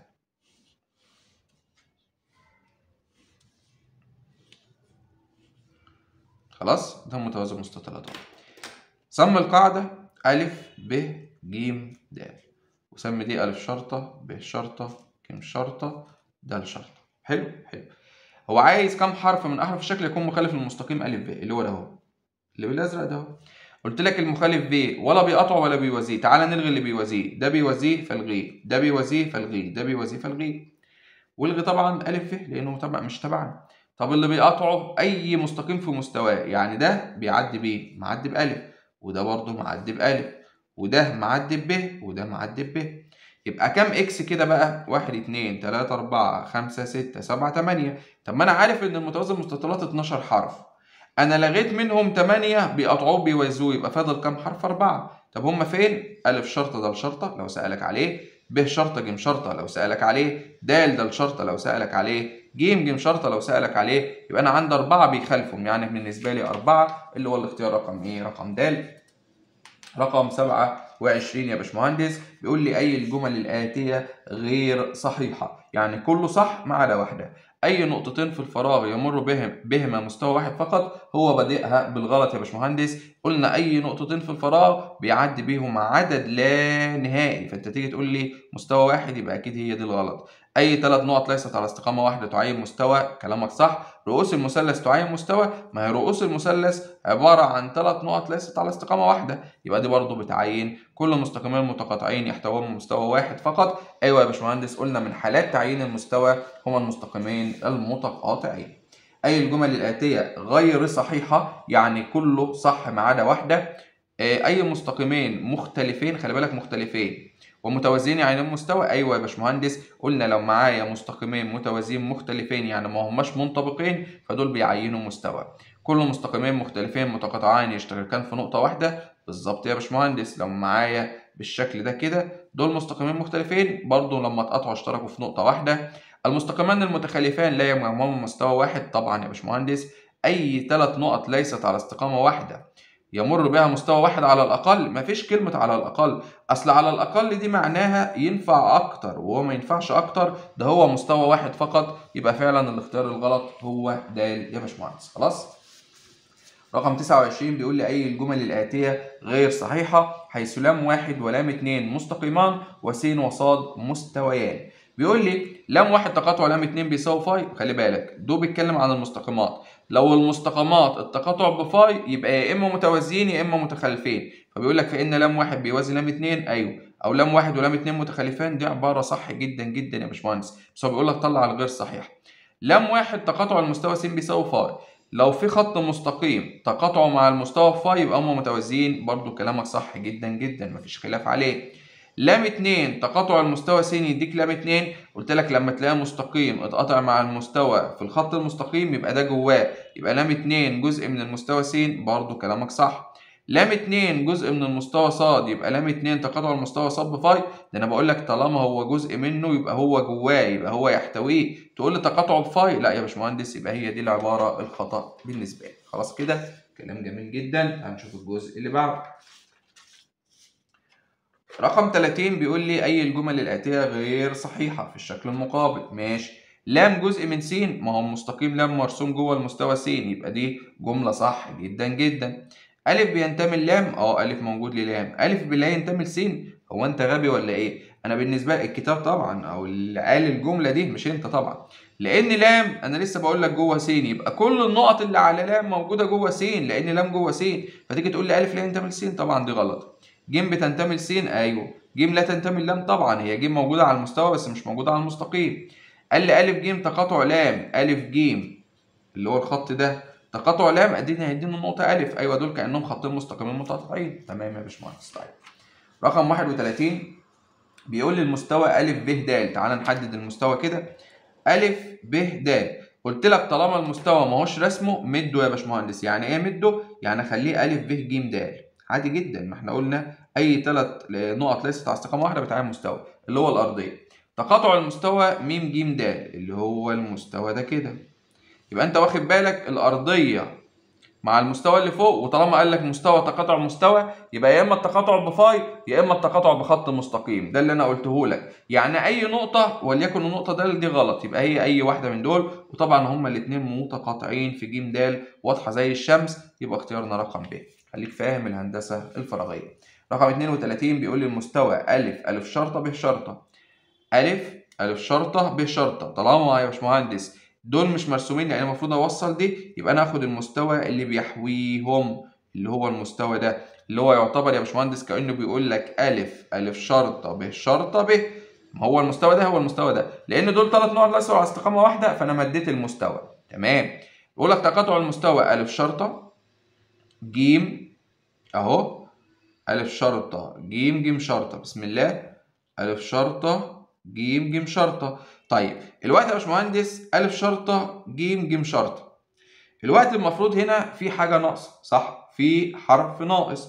أكيد هو مين؟ أكيد هو المست... ألف. ليه يا باشمهندس ألف؟ عشان يبقى المستوى ألف شرطة ألف جيم جيم شرطة. واخد بالك أنت من المستوى ده؟ اللي هو المستوى اللي جوه ده اهو طالما المستوى مش مرسوم يبقى أنا لازم أمده. يبقى أنا بالنسبة لي كده مديته أهو. يبقى التقاطع في مين أكيد في ألف ألف شرطة صح؟ يبقى بالنسبة لي إن تقاطعهم هما الاثنين ألف ألف شرطة اللي هو الاختيار رقم ألف لأن المستقيم ده هو الوحيد اللي هما طالعين منه هما الاثنين يبقى أنت فهمت الفكرة إيه؟ أنت بتدور على مستوى بيكون بيحوي الثلاث حروف دول. وتكملوا طيب المستوى س تقاطع المستوى ص قلنا مستوى. تقاطع المستوى ما ينفعش بنقطة. طيب دول مش مشتركين في حاجة؟ لا مشتركين. مستوى س مستوى ص مشتركين في الخط المستقيم تقاطع المستويين في خط مستقيم. أ وب وج لا. أ وب وج لا. لأن أ موجودة في س مش موجودة في ص وج موجودة في ص مش موجودة في س المستقيم لام صح تقاطع ما بينهم فاي. يا عم الحاج ده في حاجة مشتركة ما بينهم. يبقى فعلا اختيارنا رقم ج إيه رقم 24 بيقول لي في الشكل المقابل علاقة المستقيم لام إيه علاقته بس بص يا باشمهندس أي خط مستقيم بيبقى جزء أو ليست جزء. وأي نقطة بتبقى حاجتين يا تنتمي يا لا تنتمي. عود إيدك على الكلام ده. فبيقول لي علاقة المستقيم لام ب س والله يا باشمهندس لاحظ إن لام ده يعتبر ضلع في س وقلت لك طالما في خط مستقيم اشترك مع مستوى في أكتر من نقطة يبقى هو بيحتويه. يبقى اذا لام جزء من س يعني بالنسبة لي ج ألف إيه علاقتها بس؟ والله يا باشمهندس ألف موجودة على لام ولام موجودة في س يبقى أكيد ألف تنتمي. ليه تنتمي؟ عشان ألف دي نقطة ده خط مستقيم ده مستقيم دي نقطة ج دي نقطة يبقى ولا دي ولا دي ليه؟ لأن الجيم تنتمي أو لا تنتمي الجيم موجودة في المستوى س يبقى هي لا تنتمي لصاد صح؟ يبقى بالنسبة لي لا تنتمي خلاص؟ آه رابعا الخط المستقيم ب ج خط المستقيم ب ج إيه علاقته بصاد؟ شوف النقطتين لو عليه يبقى موجود فيه باء موجودة في صاد بس ج إحنا لسه قايلين لا تنتمي لصاد يبقى ليس جزئيا. ليه ما اخترتش لا تنتمي لأن ب ج ده خط مستقيم؟ يبقى ما ينفعش تنتمي ولا لا تنتمي. زي لام هنا كان خط مستقيم ما ينفعش تنتمي ولا تنتمي. طب ألف هنا كانت نقطة ما ينفعش جزئية أو ليست جزئية. دي دي. وإحنا بناء عليه حدد. خلاص؟ افهم المثال ده لأنه مهم قوي قوي وفكرته حلوة وفيها كلام جميل. خلاص؟ وده وضحناه برضو الحمد لله في فيديو الشرح. بسم الله. رقم 35 بيقول لي المستوى ألف ب ب شرطة ألف شرطة اللي هو المستوى الجانبي ده. تقاطع المستوى ب ج ج شرطة ب شرطة اللي هو المستوى الجانبي ده. المستويين لما يقول لك تقاطع يبقى يا إما متقاطعين في خط مستقيم أو منطبقين أو التقاطع فايلة متوازيين. فهنا طبعا متقاطعين في خط مستقيم اللي هو الخط اللي واصل ما بينهم هما الاتنين ده اللي هو المستقيم ب ب شرطة يقول لي المستوى أ ب ج خلي بالك المستوى أ ب ج اللي هو الأرض اللي تحت. إيه علاقتها بالمستوى أ شرطة ب شرطة ج شرطة اللي هي الأرض اللي فوق. المستويين دول متوازيين يبقى التقاطع بتاعهم بفاي قلت لك دي عاملة زي الأرض والسقف. بيقول لك ثالثا يا باشمهندس المستقيم أ ج. إيه علاقته بأ شرطة ج شرطة؟ بص أ ج موجود في المستوى اللي تحت أهو. وأ شرطة ج شرطة موجود في المستوى اللي فوق. إحنا لسه قايلين المستقيمين دول متوازيين المستويين معذرة متوازيين وواضح برضو من المستقيمات دي إن هي متوازية. وطالما في مستقيمين متوازيين في الفراغ يبقى أكيد إن التقاطع بتاعهم بايه يا باشمهندس بفاي. يا باشمهندس ده جاي ألف وجيم شرطة غلط وألف جيم غلط. يبقى هي أكيد دي؟ طب هو يا باشمهندس مش جايب فاي؟ ما دي لو أنت شفتها هتلاقيها بتكافئ فاي. ليه؟ بيقول لك ألف ألف شرطة اللي هو الضلع ده. إيه علاقته بب ب شرطة؟ ما دول برضو متوازيين ولا يجمعهما م... sorry إيه دول مست... مستقيمين متوازيين في الفراغ يبقى التقاطع بفاي. فدول تقاطعهم بفاي دول تقاطعهم بفاي يبقى دي بتكافئ دي. يبقى هو هنا عمل إيه؟ هو ما جابليش فاي صريحة يا باشمهندس. وصلت؟ وصلت. رابعا بيقول لي ب ب شرطة اللي هو المستقيم ده. تقاطع المستوى أ ب ج اللي هو الأرضية. قلت لك لو حاجة واقفة كده نازلة على مستوى فأعرف إن هي عمودية عليه وطالما عمودية عليها فهي قطعها في نقطة واحدة عاملة زي العمود اللي موجود في الحيطة. نقطة تلامسه مع الأرض اللي هي النقطة مين؟ اللي هي النقطة باء. يبقى اختيارنا رقم ج يا باشمهندس. خلاص كده؟ كلام جميل جدا. رقم 36 بيقول لي المستوى م أ ب م أ ب اللي هو على اليمين ده. تقاطع المستوى م ب ج اللي هو اللي على الشمال طبعا مستويين يبقى خط مستقيم يبقى م ب خط مستقيم. تاني م ب خط مستقيم اللي هو الاختيار رقم ب. المستوى م ب ج م ب ج تقاطع المستوى أ ب ج اللي هو الأرضية. واخد بالك؟ المستوى اللي في الجنب تقاطع الأرضية. يبقى هما الاتنين اشتركوا في باء وج وهتلاقي أصلا باء ج متكررة بس لازم تبقى خط مستقيم لأن دول مستويات. بيقول لي ثالثا م ب تقاطع المستوى أ ب ج م ب حاجة عمودية نازلة على أرض. نازلة على أرض يعني عمودية عليها فالتقاطع يبقى النقطة اللي هي النقطة باء يا باشمهندس. خلاص؟ هل فيها مشاكل؟ افهم الله يكرمك. رابعا المستوى م أ ب م أ ب اللي هو على اليمين. والمستوى م ب ج اللي هو على الشمال. والمستوى م أ ج اللي هو في الظهر. لو أنت ملاحظ هما التلاتة مرسومين من نقطة م يعني م رسمنا منها التلاتة يبقى التقاطع هو نقطة م وصلت هو بيقول لك اللي في الظهر والاثنين اللي قدام دول. ما إحنا هما الثلاثه راسمينهم من نقطة م يبقى التقاطع بتاعنا هو النقطة م يا باشمهندس؟ خلاص كده تعال نشوف السؤال اللي بعده. رقم 37 بيقول لي س تقاطع ص خلي بالك دي مستويات. ده مستوى س وده مستوى ص فالتقاطع اللي ما بينهم ده اللي هو الخط المستقيم أ ج يبقى اختيارنا رقم أ إيه ثانيا بيقول لي المستوى س تقاطع المستوى ع س مع ع يبقى الخط المستقيم ب ج يبقى س تقاطع ع هو الخط المستقيم إيه, إيه؟ إحنا قلنا ب ج صح؟ مش ا ج يا جماعة ب ج اللي هو الاختيار رقم إيه؟ رقم ب طيب تعالى نشوف تاني. آه. في بقية. طيب كويس إن هي في ورقة تانية. بحيث نبص على الرسمة. سيبك بقى من ثانيا دي خالص أهي. ماشي أو نرفع دي كده. أنا عايز بس الرسمة تكون إيه؟ واضحة. أعتقد كده الرسمة واضحة. إن شاء الله. ها. بيقول لي صاد تقاطع عين. المستوى صاد تقاطع عين مشتركين في الخط اللي هو ج د يبقى الخط المستقيم ماله ج د بيقول لي الخط المستقيم أ ب اللي هو ده. تقاطع المستوى س خلي بالك إن أ ب ده ضلع حاول المستوى س يبقى هو جزء منه يبقى أ ب تقاطع المستوى س يديك الصغير اللي هو الخط المستقيم أ ب. وصلت؟ يبقى اختيارنا رقم أ إيه خامسا بيقول لي بفرض إن قياس زاوية باء ج د ب 90 وباء ج ب 3 وج د بأربعة يبقى باء ج ما هو المستوى اللي تحت ده عامل شكل المثلث دي 3 دي 4 يبقى أكيد دي بخمسة. يعني اختيارنا رقم إيه؟ رقم ب خلاص؟ مش مستاهلة فزلكة ولا أي حاجة يعني الحمد لله. طيب تعال نشوف السؤال اللي بعده رقم 38 بيقول لي في الشكل المقابل س وص مستويان متقاطعان في المستقيم لام وأ بينتمي لام. ب تنتمي لس ب لا تنتمي لصاد ج تنتمي لصاد ج لا تنتمي إلى س بيقول لي المستوى س تقاطع المستوى ا ب ج. طيب ركز كده معايا. اما يجي يقول لك مستوى تقاطع مستوى فتركز معايا جدا. ليه؟ شوف مين النقط اللي موجودة عليه. المستوى س موجود في النقطة ا وباء صح؟ حلو. والمستوى ا ب ج موجود في النقطة ا وباء وج. يبقى المستويين دول اشتركوا في نقطتين يعني كأنهم خط مستقيم. طب مين النقط المشتركة ا وب؟ يبقى من غير ما أبص للرسمة أنا فهمت من المعطيات اللي هو عطاهولي إن هو كده متقاطعين في ا ب. وصلت يا باشمهندس؟ دي جزئية خطيرة جدا جدا. يبقى ا ب. المستوى ص المستوى ص لو أنت ملاحظ موجود فيه النقطة ا برضو والنقطة ج تقاطع المستوى أ ب وج اللي هو موجودة فيها أ وب وج يبقى من المقرر أ ج طالما مستويين اشتركوا في نقطتين يبقى ده خط مستقيم. يبقى إذا هم مشتركين في الخط المستقيم أ ج. بيقول لي المستوى س اللي هو موجود فيه النقطة أ والنقطة ب. تقاطع المستوى ص اللي هو موجود فيه أ وج تقاطع المستوى أ وب وج اللي موجود فيه أ وب وج طبعا لو أنت ملاحظ هما التلاتة مشتركين في نقطة لأن دول تلات مستويات. وبنسبة كبيرة دايما هتلاقي التلات مستويات متقاطعين في نقطة. بس النقطة المكررة هي النقطة أ يبقى اختيارنا رقم إيه؟ رقم دي تمام كده؟ جميل أوي. طيب.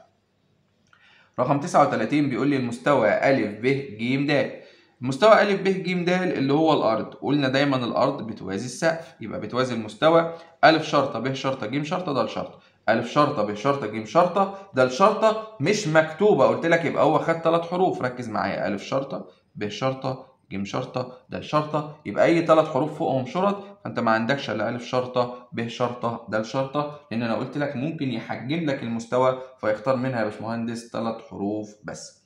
يقول لي. ثانيا المستوى ب ج ج شرطة ب شرطة. طب تعالى كده نشوفه ب ج ج شرطة ب شرطة اللي هو المستوى اللي في الوش ده يا باشمهندس. خلاص؟ طبعا بيوازي المستوى اللي في الظهر اللي هو ظهر الصندوق ده اللي هو عبارة عن أ د د شرطة أ شرطة. طب هو برضو جايب لي ثلاث حروف شوف الثلاث حروف. أ ب ج غلط. أ شرطة ب شرطة ج شرطة غلط. أ ب د مفيش هنا بقى د خالص. طب أ وأ أهي وأ شرطة موجودة ود موجودة. خلاص هم دول الثلاث حروف اللي موجودين. يبقى اختيارنا رقم إيه؟ رقم د ثالثا يقول لي المستوى أ ب ب شرطة أ شرطة. اللي هو نفس المستوى اللي كنا بنتكلم عليه. أ ب ب شرطة أ شرطة. اللي هو المستوى الجانبي ده. تقاطع المستوى أ ب ج د اللي هو الأرضية. دول مستويين متقاطعين في أ ب صح كده؟ وطبعا أ ب مكرر هنا وأ ب مكرر هنا يبقى الخط المستقيم أ ب بيقول لي المستوى أ ب ب شرطة أ شرطة نفس المستوى اللي هو الجانبي ده. تقاطع المستوى د ج ج شرطة د شرطة بص د ج ج شرطة د شرطة اللي هو المستوى ده اللي هو في وش ده. وقلت لك طالما حاجة في وش التاني يبقى دول متوازيين يبقى التقاطع بتاعهم من غير ما تفكر في فاي خامسا بيقول لي المستوى د ج د ج ج شرطة د شرطة اللي هو المستوى اللي في الجنب ده. تقاطع المستوى أ ب ج د اللي هو الأرضية. تقاطع المستوى أ إيه بسم الله أ د د شرطة أ شرطة اللي هو إيه؟ اللي في الجنب ده والأرضية والمستوى اللي ورا. كلهم متقاطعين في نقطة اللي هي مين؟ النقطة د وهتلاقي فعلا حرف الدال هو اللي مكرر يعني اخترنا رقم د خلي بالك هو الكورنر اللي هو ده اللي ورا المستوى ده والمستوى ده كلهم متقاطعين في نقطة اللي هي النقطة د. خلاص كده؟ كلام جميل. كده انتهينا؟ لا لسه سؤال واحد. طيب رقم 40 بيقول لي في الشكل المقابل آه، عاطيلي مستويات ثلاث مستطيلات متقاطعة مثنى مثنى يعني كله مت... مثنى مثنى يعني مت... آه، كله مقاطع بعضه ومتطابقة يعني كلهم قد بعض. ده المنتصف ج ج شرطة. إذا كان ا ب آه، بخمسة خلي بالك لو ا ب بخمسة أي حاجة بتوازيه بخمسة فده بيوازيه بخمسة. خلاص؟ وطالما ال- دول مستطيلات متطابقة خلي بالك لو ده عشرة يبقى ده عشرة يبقى دي برضو خمسة ودي خمسة. ولو ده عشرة يبقى ده عشرة. ماشي؟ ماشي. إيه، بسم الله. بيقول لي المستوى أ د أ شرط. أ د أ شرط. خلي بالك بقى من الكلام هنا. المستوى ده يا باشمهندس مش رسمه صح؟ تمام. مش د دي موجودة على ج ج شرطة؟ حلو. يعني أنا ممكن أستبدل الدال بجد؟ آه والله طالما دي نقطة. وآخد الخط المستقيم اللي حواليها. يعني كأنه بيقول لك المستوى أ ج ج شرطة أ شرطة. واخد بالك؟ اللي هو المستوى اللي ورا ده. اللي ورا. حلو. تقاطع المستوى. ركز معايا. باء دال ب شرطة نفس الفكرة مش دال دي يا باشمهندس موجودة على ج ج شرطة؟ فإحنا ممكن نحط ج ج شرطة. يعني كأنه بيقول لك تقاطع المستوى ب ج ج شرطة بقى شرطة اللي هو مين؟ المستوى اللي في الجنب ده. فبيقول لك المستوى اللي ورا والمستوى اللي في الجنب فهم اتقاطعهم في دي كده. في الخط ده اللي هو ج ج شرطة. يبقى بالنسبة لي الاختيار الصح إيه؟ ج ج شرطة اللي هو اختيار رقم أ جميل قوي بيقول لي المستوى أ د ب. أ د ب. ماشي. تقاطع المستوى أ ب. ج طيب. أ د ب. لو أنا رسمته اهو يا باشمهندس. هل المستوى ده أنا ينفع أعبر عنه بحاجة تانية؟ أه بس هنا أنا مش مستاهلة. ليه؟ بص بيقول لك أ د ب. فأنا ممكن أقول إن هو المستوى أ د ج ب. عادي جدا. تقاطع المستوى أ ب ج اللي هو الأرضية بس هو طالما الأرضية ثلاث حروف سيبوا أ د ب عادي كده كأنه مثلث.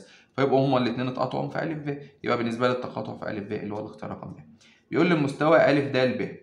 أ د ب. إحنا لسه محددينه أو قلنا أ د ب ج عادي جدا يبقى مستوى تقاطع المستوى ب ركز بقى معايا ب ج ب ج ج شرطة ب شرطة خلي بالك مستوى أ د ب والمستوى ب ج ج شرطة ب شرطة اللي هو اللي في الجنب ده. لو أنت ملاحظ ده كده جاي معاهم في النقطة د. يا باشمهندس هو دلوقتي جايب لك النقطة باء هل النقطة باء موجودة في المستويين دول؟ ما أيوه يا باشمهندس بص دي هنا ودي هنا. بس هل يا باشمهندس أختارها؟ لا أنا قلت لك مستوى مع مستوى خط مستقيم فاستبعد ب. طب هل هو الب ج؟ لا يا باشمهندس الب ج هنا مش موجود لأن ده مستوى أ د ب فيبقى بالنسبة لي إن الب ج غلط طب هل هي الب د؟ أيوه يا باشمهندس ليه؟ لأن أنت لو جيت رسمت الب د اللي هي الحتة دي فده عبارة عن خط مستقيم جوه المستوى ب ج ج شرطة ب شرطة وبرضه الب د عبارة عن خط مستقيم حول ده يبقى فعلا هي الب د وصلت؟ وصلت رابعا بيقول لك قياس زاوية ب د ب شرطة اللي هي الزاوية دي كده. طيب شايف المستطيل ده؟ أنا كل اللي هعمله هطلعه بره كده يا باشمهندس. بص شايف المستطيل ب ج ج شرطة ب شرطة أنا هرسمه بس مستوي عشان تبقى فاهم. أهو. النقطة ده اللي هنا في النص صح؟ ودي ج شرطة ودي ج ودي ب ودي ب شرطة حلو. دي خمسة ودي خمسة ودي عشرة خلي بالك لو دي خمسة فدي خمسة برضه ودي خمسة ودي خمسة لأن هو قال لك تطابق. دي خمسة ودي خمسة. وعايز قياس زاوية بقى إيه؟ ب د دي كده. طيب ماشي. الشكل ده ماله؟ هو قال لك دي ثلاث مستطيلات. يبقى إذا الشكل ده مستطيل. 90 دي 90 90 90 لو دي خمسة ودي خمسة يبقى ده مثلث قائم متساوي الساقين. دي 45 دي 45 طب ما ده برضه مثلث قائم متساوي الساقين. دي 45 دي 45 طب ما دي زاوية قياسها 180 دي 45 و45 90 يبقى فاضل هنا كام؟ 90 يبقى اذا قياس الزاوية 90 درجة. وصلت؟ من هندسة الشكل مش أكتر. يبقى بالنسبة لي إن الإجابة بتاعتي هي 90 درجة. خلاص؟ تمام كده قوي كده يا باشمهندس يبقى إحنا الحمد لله خلصنا تمارين اختر بالكامل على الدرس ده. بالنسبة للأسئلة المقالية الأسئلة المقالية أنا حللها بالكامل السنة اللي فاتت. هي هي. طب هتنزلها في فيديو منفصل يا باشمهندس زي باقي الفيديوهات؟ لا. هنزلها لك في نهاية الفيديو ده. يعني أنا هنهي الفيديو ده دلوقتي هتلاقي الجزء اللي هو خاص بالأسئلة المقالية اللي أنا حليته السنة اللي فاتت هم هم نفس الكلام ده ما اتغيرش يا باشمهندس بنفس التمارين بنفس كل حاجة. هضيفها لك بحيث يبقى إحنا انتهينا من تمارين الدرس ده بالكامل عشان إن شاء الله الحصة اللي جاية اللي هي الهرم الشرح بتاعها بنسبة كبيرة هيكون على الحصتين لأن الهرم ليه حالات كتيرة شوية. وبالنسبة للإخطر هنعيده تاني بطريقة أسهل وأبسط كمان من اللي إحنا حلينا بيها الإخطر المرة اللي فاتت.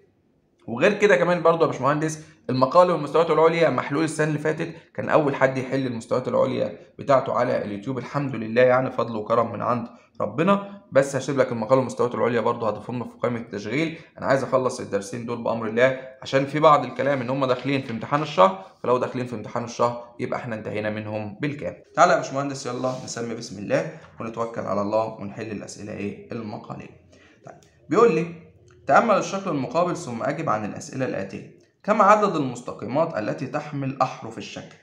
خلي بالك من كلمة حرف معنى الحرف هي القطعة الواصلة بين أي رأسين. بين أي رأسين. تمام.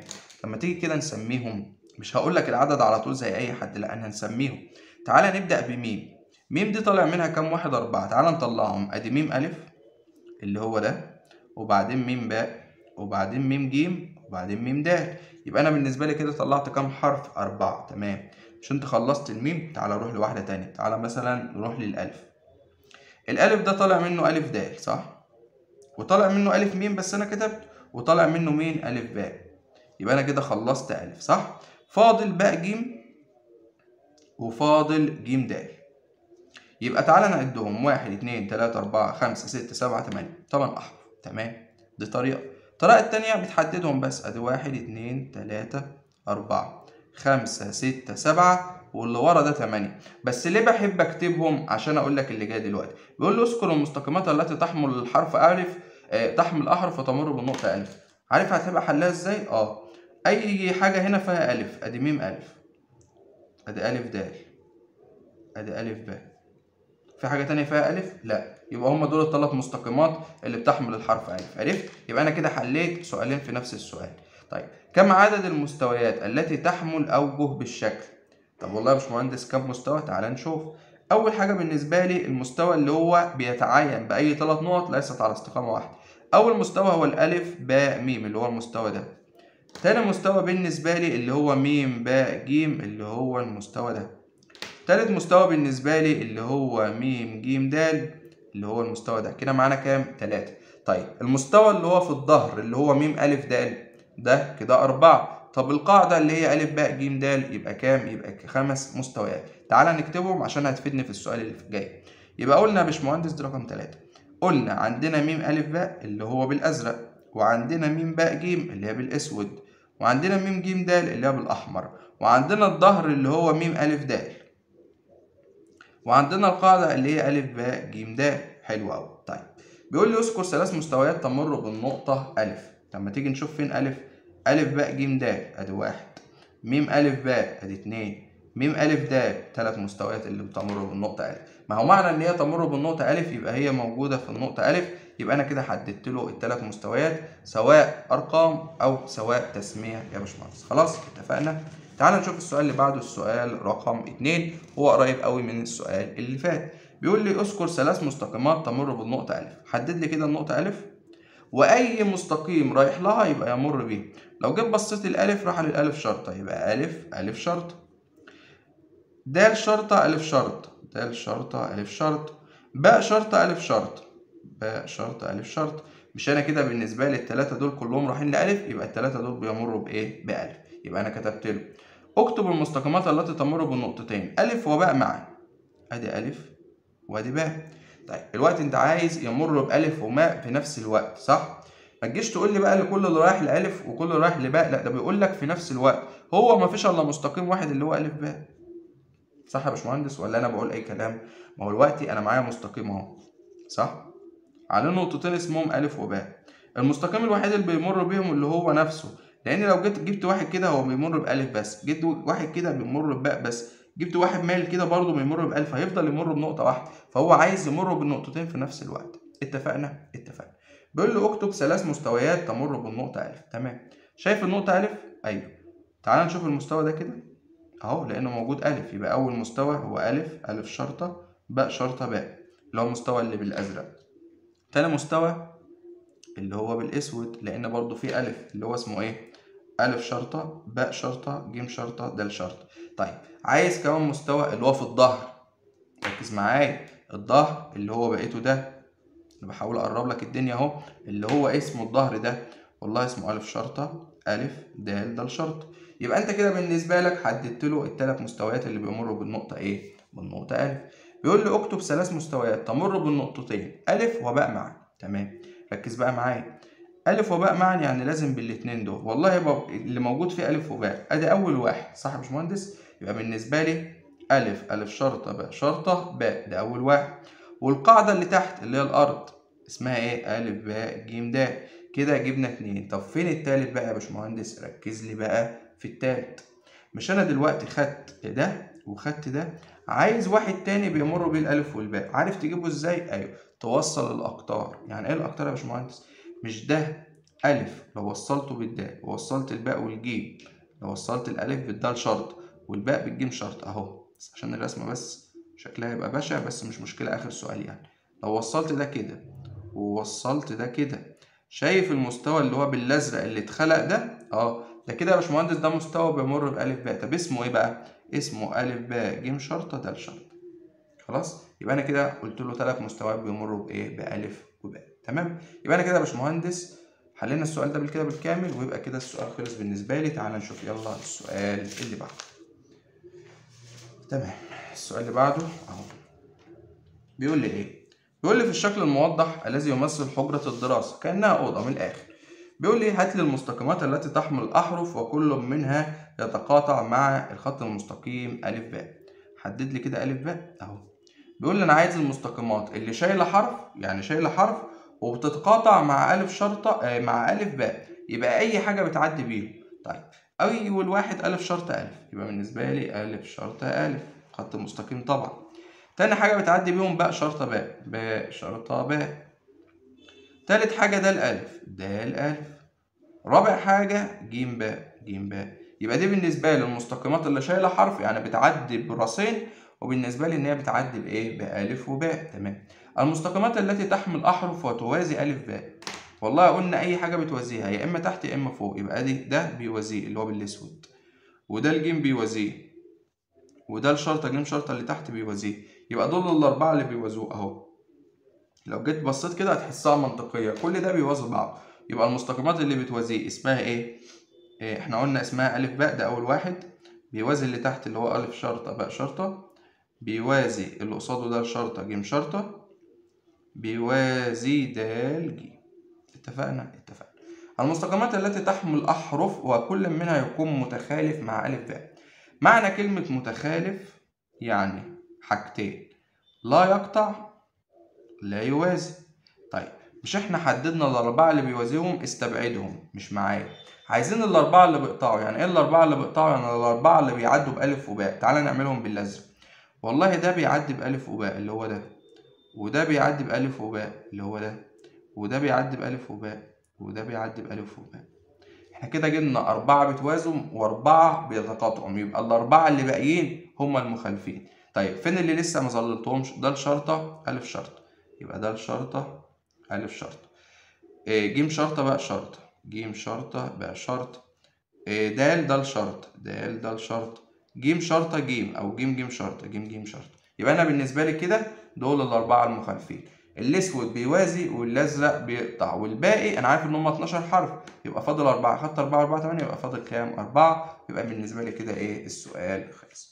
السؤال رقم أربعة سؤال بقى من التلخيص اللي هو في أول الفيديو لو رجعت له هتشوفه بيقول له اذكر عدد المستويات التي تمر بنقطة واحدة قلنا عدد لا نهائي نقطتين عدد لا نهائي ثلاث نقط على استقامة واحدة برضو عدد لا نهائي قلنا دول كأنهم خط مستقيم مر عليه نقطة مر عليه نقطتين مر عليه ثلاث نقط برضه هيعمل لي إيه؟ عدد لا نهائي. ثلاث نقط ليست على مستوى واحد أو ليست على استقامة واحدة هي ترسم لي مستوى واحد إيه؟ مستوى واحد فقط.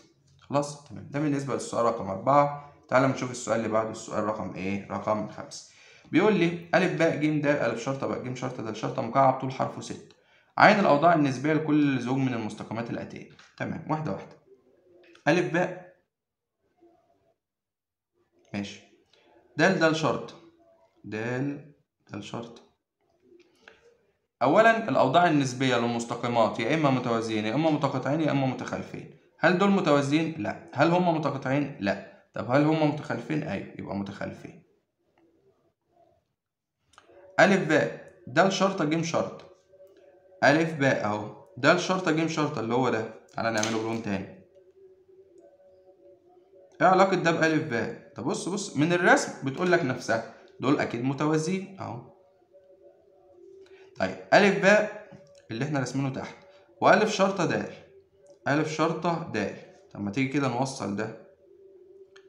اوعى تقول لي متوازي ليه؟ لأن بص اللي بيوازيه اللي هو ألف شرطة باء شرطة ده كده مايل عن التوازي. يعني في زاوية في زاوية صغيرة أنا عملتها إيه؟ يبقى مالهم متخالفين ماشي.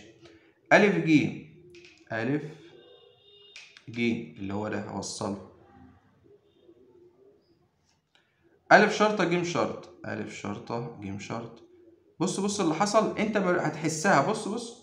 عملت مستوى أهو. يبقى الاتنين دول مالهم متوازيين بالنسبة لي. يبقى دول مالهم متوازيان ماشي. ألف باء ودال ج شرط. دال ج شرط. أهو. ده اسمها بقت بشعة بس معلش. أهي. وألف باء. طب هل دول متوازيين؟ لا. هل دول متقاطعين؟ لا. يبقى متخالفين ماشي. ألف جيم أهو اللي إحنا وصلناه تحت. وألف شرطة ألف. فين ألف؟ أهي. ركز بقى معايا. شايف الاتنين دول؟ آه ده لامسين بعض عند نقطة اللي هي الألف. يبقى بالنسبة لي مالهم يا باشمهندس؟ متقاطعين. حتى لو في نقطة نسموهم إيه؟ متقاطعين. ما هو معنى إن هما لامسين يعني متقاطعين. ماشي. بيقول لي عود عين الأوضاع النسبية لكل زوج من المستويات الآتية ماشي. ده لسه في مستويات وأنا بوظت الرسم أصلا. بس مفيش مشكلة كده أنت هيبقى معاك الرسمة. شوفها كده وحدد عليها وانقلها بره. أو ممكن على فكرة موضوع سهل مش ده مكعب؟ أيوه هنرسمه. يلا لقينا حل أهو. آدي المكعب. تحت كده مسميلي ألف باء ج د هنا مسميلي ألف شرطة باء شرطة ج شرطة د شرطة حلو أوي. رسمنا الرسمة تاني مفيش مشكلة. بيقول لي إيه؟ ألف باء باء شرطة ألف شرطة اللي هو المستوى ده. تقاطع المستوى د ج ج شرطة د شرطة. د ج ج شرطة د شرطة اللي هو المستوى اللي في الوش ده. لو قلت لك دول كده مستويين مالهم؟ متوازيين صح؟ طالما المستويين آه ده بيقول لي عين الأوضاع بس قول متوازيين. كنت لسه أقول لك التقاطع بفاي بس هو بيقول لي عين وضع. ماشي. ألف شرطة. باء شرطة باء ألف اللي هو نفس المستوى ده. مع المستوى اللي اسمه ألف شرطة باء شرطة اللي هو ده ج د ج فين ده أهي.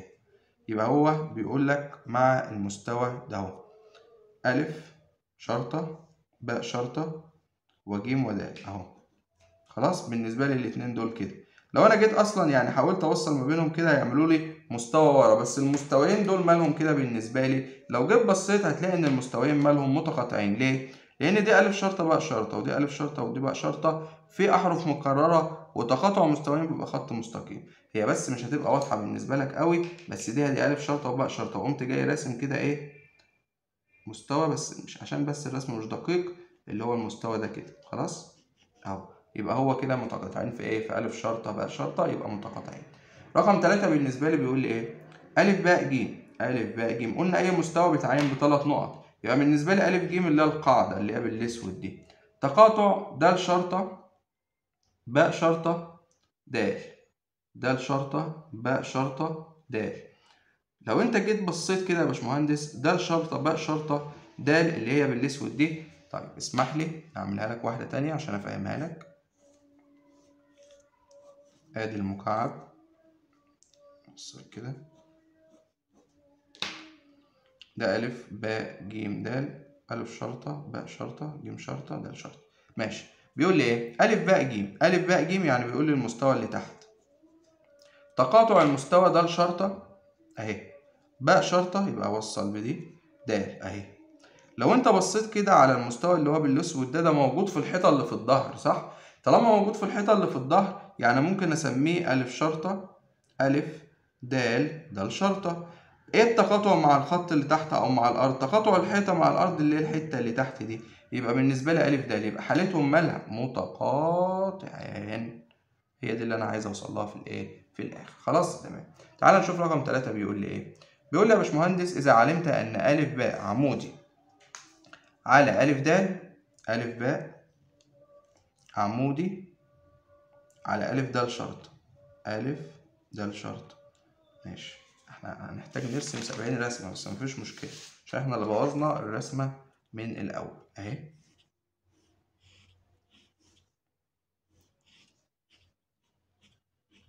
ألف باء جيم د ألف شرطة باء شرطة جيم شرطة د شرطة. بيقول لك إذا علمت أن ألف باء اللي هو ده عمودي على ألف د شرط. هوصل ألف د شرط. أهو. عمودي. فأوجد طول باء د شرط باء د شرط اللي هو ده. ماشي. هو في أول السؤال كده قال لي معلومة مهمة. إحنا خلاص رسمنا سيبك بقى من السؤال تعالى بيقول له طول حرفه ستة يبقى دي بالنسبة لي ستة.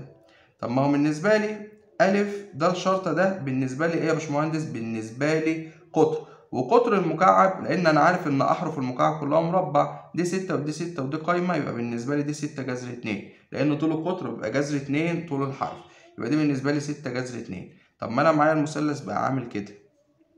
أهو دي الألف اللي هي القايمة وادي يا باشمهندس الدال شرطة وادي الباء. معايا إن الألف باء بستة ومعانا ألف ده شرطة دي بستة جذر اتنين عايز الوتر من فيثاغورس يبقى جذر ستة أس اتنين لأنه عايز الوتر زائد ستة جذر اتنين إيه؟ الكل أس اتنين. تعالى نعملها على الآلة الحاسبة بسرعة. يبقى جذر ستة تربيع زائد افتح قوس ستة جذر اتنين الكل تربيع. تطلع معاك بتساوي ستة جذر تلاتة يبقى الطول بتاعي بيساوي ستة جذر تلاتة ويبقى كده الموضوع بالنسبة لك إيه؟ خلص. خلاص؟ تمام. تعال نشوف السؤال رقم ستة كده بيقول لي إيه وركز معايا. بيقول لي إذا كانت س ترمز لمستوى لام ترمز لمستقيم ألف ترمز لنقطة. فارسم الأشكال. ألف بينتمي للام. هو لام ده أصلا إيه؟ مستقيم. يبقى نرسم مستقيم اسمه لام. أهو. ألف بتنتمي عليه يعني ألف موجودة عليه أدي ألف. بس كده الرسمة خلصت على فكرة. تمام. بيقول لي لام بتنتمي لسين. هي لام إيه؟ مستقيم. آه لام جزء جزء. س بالنسبة له مستوى يبقى أرسم المستوى اللي هو الكبير الأول. أدي س طالما لام جزء منه يبقى هي جواه. يبقى أدي لام جزء من س خلاص؟ ماشي. تعال نشوف اللي بعدها. لام تقاطع المستوى س بيساوي ألف. قلنا طالما خط مستقيم تقاطع مستوى يبقى هو إيه؟ قطعه يبقى أنا معايا مستوى أهو ومعايا كده خط مستقيم المستوى اسمه س وده اسمه لام طالما قطعه أهو. يعني خرم الورقة كده ومعدي الناحية التانية. وضع التقاطع بيساوي ألف يبقى أنا كده رسمت الرسمة بتاعتي. بيقول لي لام بيوازي س معايا مستوى اسمه س ومعايا خط مستقيم أو مستقيم بيوازيه. يبقى أنا كده بيوازيه. تمام. بيقول لي إيه؟ ألف بينتمي لس يبقى أنا معايا مستوى. اسمه س. وألف موجود عليه. ماشي. نقطة. ألف ما بتنتميش للام. يبقى أنا ولام جزء من س. يبقى أنا معايا خط مستقيم اسمه لام. وألف ما بتنتميش منه يعني بعيد عنه كده. بس كده خلاص. يبقى أنا كده رسمت إيه؟ الرسمة بتاعتي. خلاص. كده يا باشمهندس وصلنا لآخر حصة النهارده. أتمنى إن أنا أكون قدرت أفيدك. أتمنى أكون وصلت لك المعلومة بطريقة سهلة وبسيطة. يا ريت لو استفدت تشترك في القناة وتفعل زر الجرس وتضغط لايك وتشير الفيديو عشان يوصل لأكبر عدد ممكن من الناس. أشوفكم على خير الفيديو الجاي. كان معاك مهندس حسام من قناة حسام رياضيات وشكرا جدا.